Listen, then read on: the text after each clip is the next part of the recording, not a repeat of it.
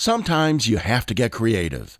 For a Colorado rancher, that meant an investment in learning and then applying what he learned. With our continuing education of ranching for profit, we sit down at least quarterly and uh, figure out our gross margins, which really gives us the economic snapshot of, of uh, current enterprises and maybe future enterprises that we need to look at. We'll factor in a little bit of labor. Is it too much labor to have all cows?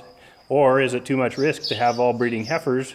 The two main economic players for the Nobles are their cow calf and heifer development enterprises, the latter branching out to serve other customers of their Angus bull supplier in Montana.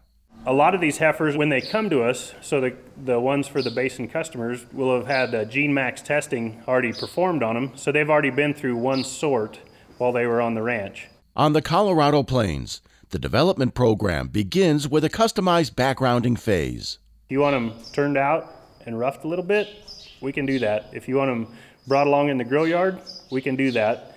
And then we have a pretty good source of grass to graze in the summertime.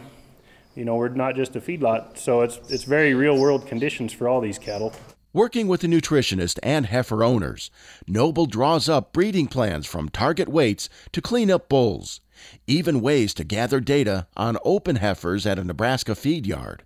We go ahead and uh, go through this entire protocol when these heifers are developed, and we'll identify the cattle that are bred, and the rest of them will go to Chappell Feedlot where they get fed. All the carcass data is analyzed, and it really gives a, a producer a great snapshot of of where their herd's at and where it's going.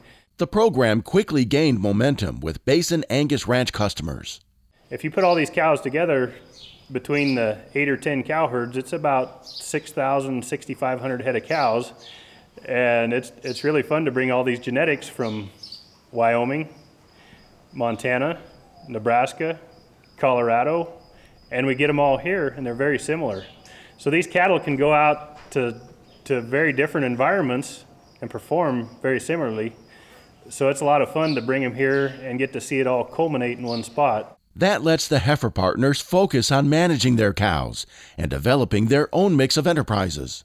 They don't have to mess around and, and feed heifers on a daily basis. They don't have to take three or four days to AI in the spring. All they need to do is just run their cows. They'll actually have some other cattle, their contemporaries from different herds, to compare them against in Chappell Feedlot. And I think it really helps them to streamline their operations too. I'm Bob Cervera.